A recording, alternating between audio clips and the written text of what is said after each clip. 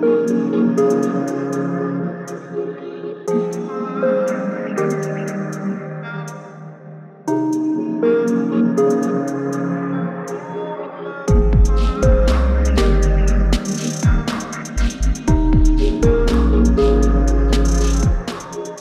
Hi, if you like cigars, Cuban cigars especially, you can come to our Tomtom cigar shop. You can smoke inside, have a nice coffee, have a chat with us. We can tell you everything we know about cigars and you can also um, drink a nice whiskey.